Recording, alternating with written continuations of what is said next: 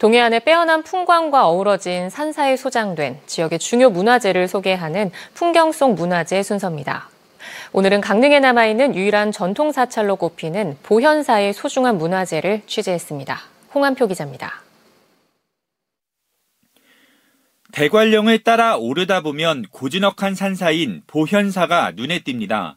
산사 뒤로 겹겹이 펼쳐지는 수려한 산세, 저 멀리 펼쳐지는 바다를 바라보면 속세의 시름이 한순간에 사라집니다.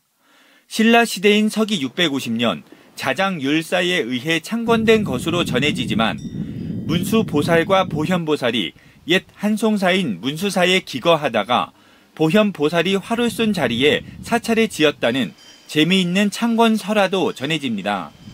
지금은 폐사지가 된 굴산사와 더불어 강릉 지역에서 손꼽히는 선종 사찰이었던 보현사. 낭원 대사는 보현사를 사굴 산문의 대표적인 사찰로 탈바꿈시켰습니다. 여기 와서 주석을 하시면서 아마 후학들을 제접하시면서 그 당시 때 지장선을 새로 만들고 그래서 아마 구산선문 중 하나인 사굴산문의 그 법맥을 이인 사찰이 아닌가 그렇게 생각합니다. 예. 또 굴산살에 창건한 범일 국사의 제자로 보현사의 상징이나 다름없습니다. 보현사는 중창의 사세를 크게 확장한 낭원 대사와 관련된 문화재가 많습니다. 보현사 입구를 지키고 있는 강릉 보현사 낭원 대사탑비, 국가지정 문화재 보물로 고려시대 사회상을 파악할 수 있는 비문이 새겨져 있습니다. 그 남한여초의 어, 불교사, 그다음에 선종의 전파, 그다음에 지역 그 호족 세력들을 하고 연계성, 그리고 고려 태조 건국 과정에서 얽힌 여러 가지 그런 역사성, 전통성 이것이 보현사의 역사적 가치라고 얘기를 할 수가 있겠고요. 보현사 경회를 따라 조금 가파른 산길을 오르면 역시 국가지정 문화재 보물로 지정된 낭원 대사탑이 자리 잡고 있습니다.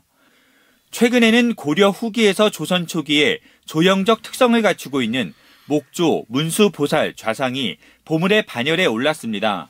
강릉 시립박물관에 소장된 미타개첩은 보현사 승려와 신도들이 결성했던 미타계의 개첩으로 조선 후기 향도계를 구명하는 소중한 자료로 분류됩니다.